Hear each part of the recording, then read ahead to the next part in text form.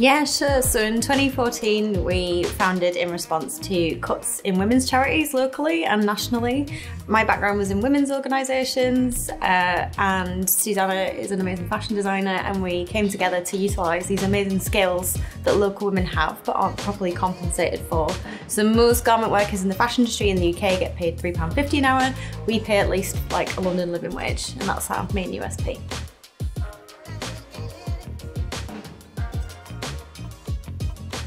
So we pay living wages, that's number one, and that's how we support women's organisations. We work really closely with the women that we manufacture with. We work with, um, I'd say, around five women's groups on a regular basis, um, majority in East London, and I'd say, you know, like five miles from our office. So we go and see them regularly. Um, we have, yeah, incredibly close relationships with them. They're not just like factories that we work with. We know every single person who makes every single item of our clothing. Um, and yeah, it's just a very compassionate, equal way of working.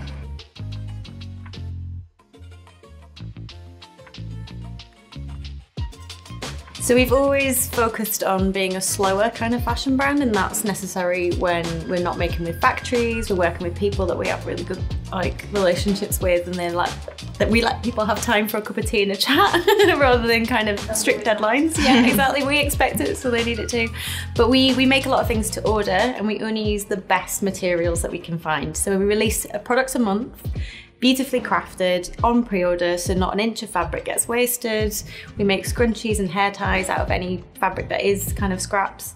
Um, and just really commit to using biodegradable, reclaimed or recycled materials, which suits uh, amazingly sourced. Yeah, and we've just been certified um, with a B Corp certification, so really happy about that.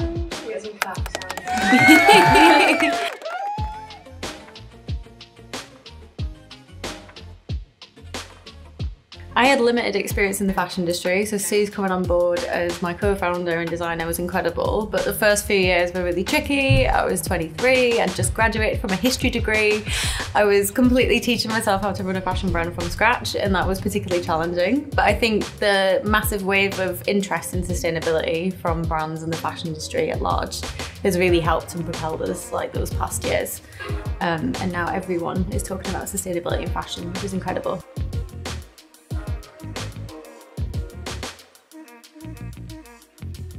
I feel definitely harder. Um, it's harder for us to like stand out in the industry, I suppose, even though we've been doing this since day one. But I think it keeps us on our toes and we can never be complacent with what we're doing. And it just shows that we have to like shout about what we're doing at every stage of the journey because we have like nothing to hide in our supply chain and we're really proud of it. So it kind of, yeah, it keeps us, you know, um, I don't know, on our toes, yeah.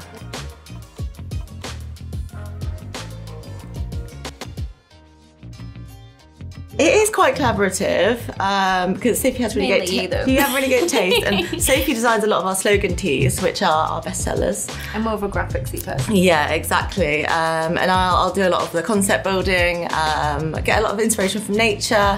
Want to create really uplifting, optimistic designs that are like healing and you know really like cocoon the person and make them feel like safe and the, their best selves, really.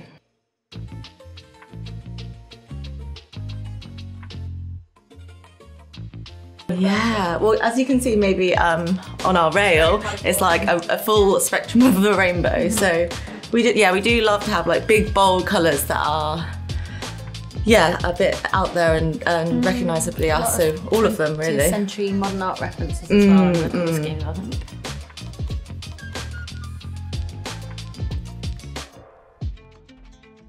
So we try to use organic cotton where we can. Um, we do use a lot of reclaimed fabrics, which are fabrics that are um, diverted from landfills. So we like to use what's already on the planet as opposed to um, always using, you know, raw materials. Um, but if we do use raw materials, we use Tencel, which is a wood pulp, um, and it's made in a closed loop system. So all of the chemicals and water that's used goes back into the system, and nothing's, you know, put into the environment that's uh, not not good.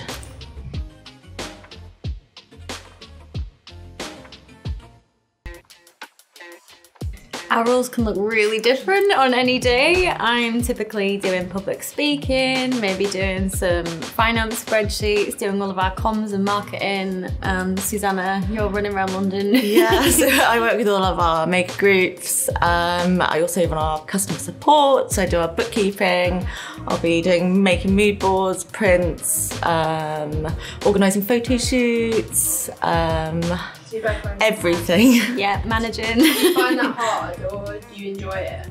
It's kind of what I'm used to now. I do like doing a little bit of everything, and like, I think I'm definitely attracted to that kind of like lots of different things. It means it never gets boring. You never, never stuck twiddling your thumbs for something to do. That's for sure. Yeah, we have complete control over everything that's in the, that that we do in the business, um, which is, I think is why we can we're able to be so ethical and sustainable, is because every we have the last say on every kind of decision. Exactly. Our principles run through every single decision that we take, and that's really quite rare.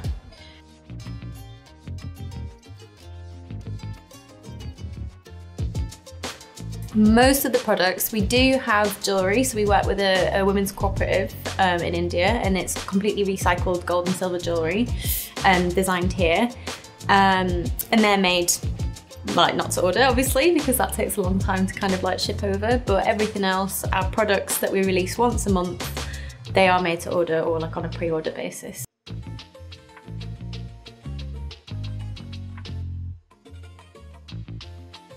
I think so because we're not wasting any stock and also enables us to produce in size 6 to 30 which makes us much more size inclusive which is a real challenge in the ethical Yeah, yeah. We don't have to worry about like buying and like what sizes. We don't have any waste basically, and, uh, and like waste stock is such a massive issue for brands.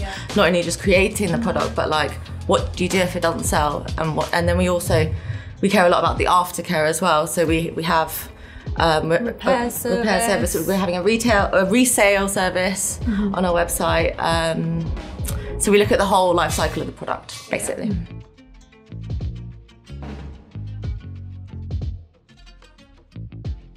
There's loads of debate to be had around kind of social media, where you're funding your money. In the past, we have used social media ads. We're not currently spending with social media companies, um, except on a kind of more ad hoc basis. And it is really interesting when you see your balance sheet and you're saying, okay, I'm spending this much on wages. I'm putting this much to Mark Zuckerberg. so that's something we've tried to re-navigate. Um, I'd like to think that our press uh, activity, which is our kind of one of our biggest drivers, is done in an ethical way because we're transparent, we're certified, we're not kind of greenwashing because we're industry experts at this stage in sustainability. So a lot of greenwash is rife in product press. Especially in fashion. Yeah, mm. exactly. Mm. yeah. Exactly, exactly. We've both been in the sustainable space for 10 years each now. So, yeah. And our old, old tagline was um, "No sweatshops, no Photoshop." So we try and be as as um, ethical in our in our the creation of our products as well. And our Um, representation of. oh, no, it was, it was Sarah actually. Yeah.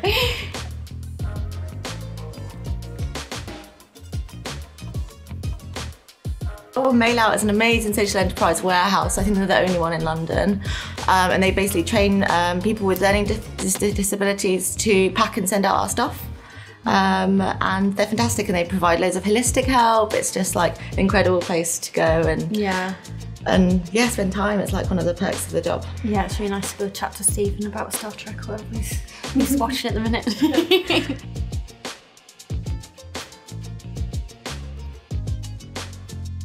Ooh, it's so interesting because I think in sustainability, a lot of people are talking about biomaterials, kind of textiles innovation. But I always bring it back. The most exciting, sustainable thing you can do as a brand is pay living wages to your garment workers, which doesn't sound as exciting, but it's the way forward. And especially a lot of laws are coming into effect in Europe, which will probably be extended in the UK eventually, um, around people paying their garment workers fairly. And there's been studies done that show that if you pay your garment workers a living wage, that's the most sustainable action you can take Yeah. because you can't physically produce as much stock when you're paying a decent wage and putting people into decent conditions, not making them work 16 hours a day with overtime, for example.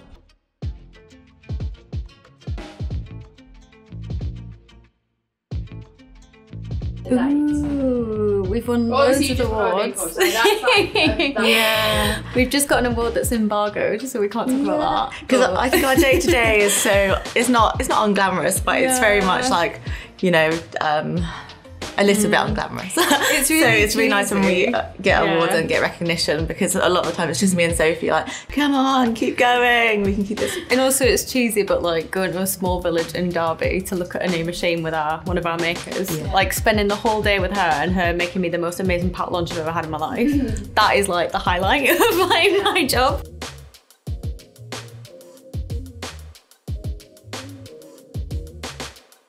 Yeah, so we're looking at if we could potentially franchise. We're going to be doing merch for different brands as well because we've got this printing, t-shirt printing press that we're setting up. Um, and yeah, we we kind of more likely to kind of explore wholesale as well because that's something that we've not done previously.